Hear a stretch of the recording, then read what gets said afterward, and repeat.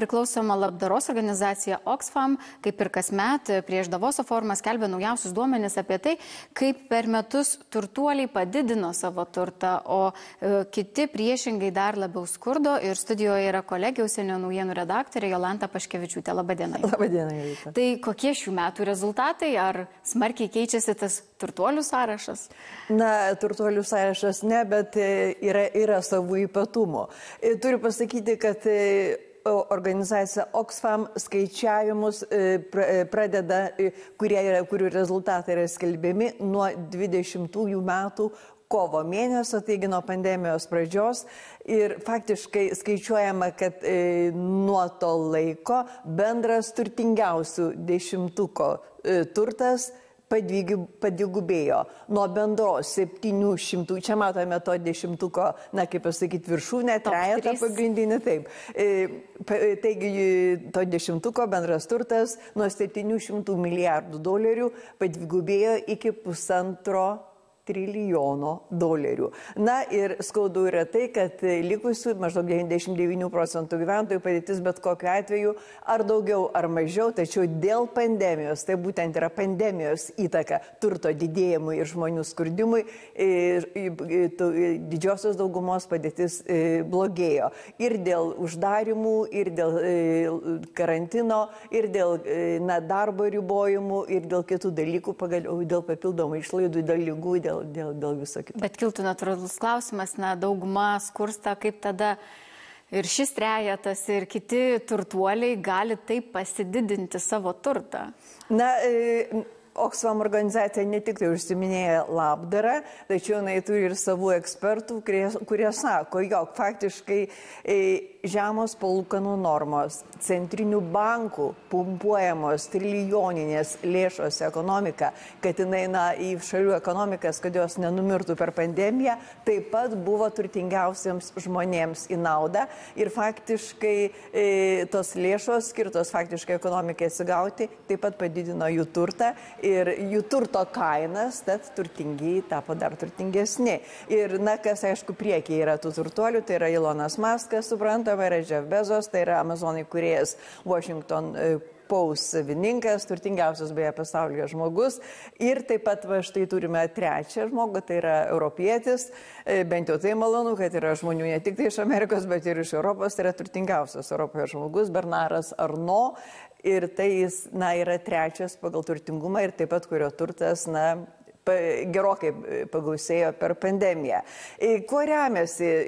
Na, aišku, jeigu dar domina sąrašas, yra ir Bilas Gatesas, ir Markas Zuckerbergas, ir, ir, ir, ir panašus kiti. Daugiausia technologijos vis dėlto. Taip, ir, ir faktiškai ir, ir duomenys yra iš kur skaičiuojami. Skaičiuojami iš Forbes milijardierių sąrašo, Ir jau 20 metų bankas e, Credit Suisse, Šveicarijos bankas, skelbia irgi neturtingiausių žmonių turto turtėjimo ataskaitas. Ir taip pat pasaulio banko duomenimis remiantis yra skaičiuojami duomenys, kurie rodo faktiškai skaičiai, tai yra tokia, na, e, truputėlį ir gluminantis, kad faktiškai naujas milijardierius per pandemiją na, tarp tų, kurie turtėjo naujas milijardas, rasdavosi kas 26 valandas. Taigi kasdien.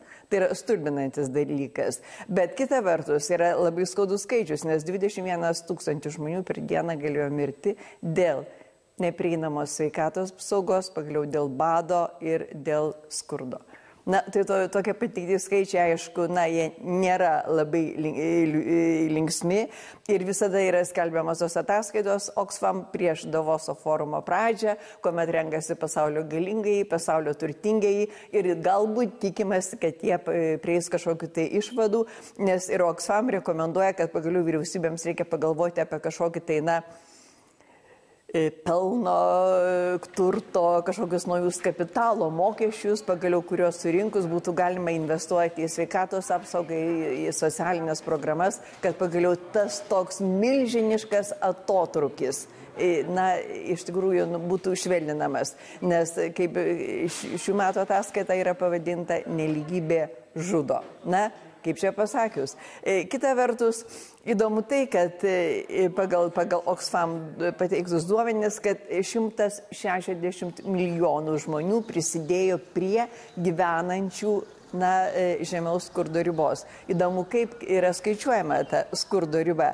Faktiškai imama e, ta jau na, pasaulio banko norma, kad e, turint galvoje didesnių ir vidutinių pajamų šalis, kur skurdo riba, jeigu, sakykime, žmogus gyvena už 5,5 dolerio per dieną. Tai jeigu jau mažiau, tai yra kaip sakant, žemiau skurdo ribos. Reikia pasakyti, kad moteris nukentėjo labiau per pandemiją negu vyrai ir į darbą išeina dabar 13 milijonų moterų mažiau negu iki pandemijos. Ir kita vertus, įmant pasaulio mastu, E, labiau kenčia etinės mažumos. Ir ne tik tai, sakykime, kažkokiose kitos, tokio, e, tokiose šalise, kur, kurios, na, tolindo demokratijos, pavadinkime tai, bet ir tokiose šalise kaip e, Junktinė karalystė ar Junktinės valstijos. Na, kita vertus, na, aš dar truputėlį priminti, kas yra Oxfam, tai yra iš tikrųjų organizacija, kuri užsima labai plačia labdaros veikla, kuri tokia ekspertinė veikla, įkurta 42 metais, karo metais ir kuri dabar, na, faktiškai vienė 20 pasaulio, e, pasaulio labdaros organizacijų. Na ir štai tokias vat, ataskaitas pateikia prieš prieš, e, beje, faktiškai prieš, nes šiandien prasidėjo forumas, Davoso forumas, kuris, aišku, netoks kaip reakcija gal, galbūt netokia, kaip galėtų būti, nes forumas vyksta, na, nuotoliniu būdu, yra toksai mini davosas, o ne toks, kaip visada būdavo, kur pasaulio galingiai, turtingiai žurnalistai, ekspertai, politikai, na, pagaliau verslo magnatai rinkdavosi iš tikrųjų aptarti pasaulio E, problemų, ten sprendimų nepriimdavo, nes tai nėra forumas, kuriame yra priimami sprendimai, tačiau, na, jisai visgi diktuoja politikos, ekonomikos madas, pavadinkime taip. Tačiau reakcija šį kartą ko gero bus mažesnė, nes tai yra jau ne tas forumas kaip prieš pandemiją. Nors, ir tai jau antri metai. Nors skaičiai ir tie skirtumai iš ties, na, ke, ir skaičiai taip, taip, ir pandemija faktiškai tai tą atitrukimą dar labiau dėja, bet Taip. Ačiū užsienio naujienų redaktorė Jolanta Paškevičiūtė aptarėme nepriklausomos labdaros organizacijos Oxfam paskelbtus naujausius duomenis apie tai, kad per pandemijos metus turtuoliai dar labiau išaugino savo turtą, o kiti priešingai dar labiau skurdo.